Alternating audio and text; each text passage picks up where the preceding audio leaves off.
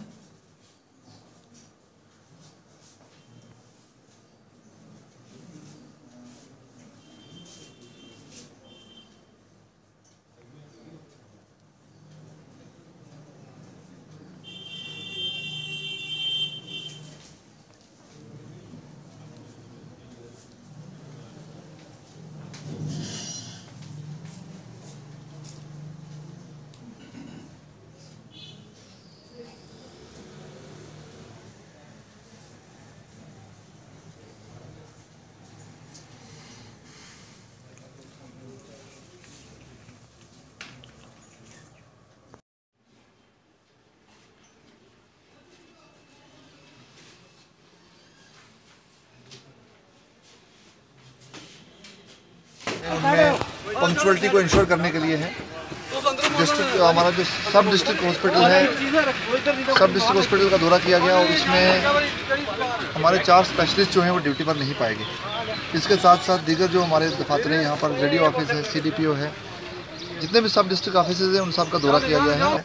तो साथ साथ में आपको मालूम होगा कि आज का मेरा जो दौरा है, जो टूर है और जो सरप्राइज़ इंस्पेक्शन दफ्तरों की हुई है। ये इसी चीज़ को चलते हुए कि पंक्चुअलिटी को इंश्योर किया जाए और जो भी एरिंग पाया जाएगा और पब्लिक इंटरेस्ट में हम बिल्कुल ज़रा सी भी हमें हिचकिचाहट नहीं होगी कि पब्लिक इंटरेस्ट में हम कार्रवाई करने के लिए ज़रा बिल्कुल भी नहीं हम पीछे हटेंगे।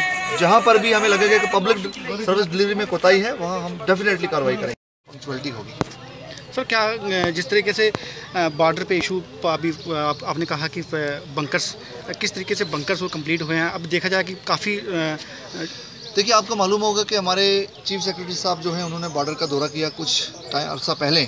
तो उनके दौरे पर जब बॉर्डर के रहने वाले लोगों ने एक रिप्रेजेंटेशन दी कि बंकर्स का जो प्रोजेक्ट है उसकी पेस बहुत स्लगिश है और बहुत सारे ऐसे पॉकेट्स हैं जो बिल्कुल ज़ीरो लाइन के नज़दीक हैं। तो वहाँ पर भी ये प्रोजेक्ट टेकअप नहीं कर पा रहा। तो उसके बाद चीफ सेक्रेटरी साहब ने ये फैसला लिया कि जो ये पीडब्ल्यूडी की टेंडरिंग में रिस्पांस नहीं आ रहा तो आरडीडी को प्रोजेक्ट ट्रांसफ़र किया जाए। तो आपको मालूम होगा कि आरडीडी को ट्रांसफ़र करने के बाद आ, मुझे बताते हुए ये खुशी हो रही है कि तकरीबन 1500 बंकर्स पर काम हो, चालू हो चुका है। स्टार्ट हो गए हैं बंकर्स की कंस्ट्रक्शन तो इसके साथ जो बाकी रिमेनिंग है उन पर भी हमारी प्रायोरिटी है।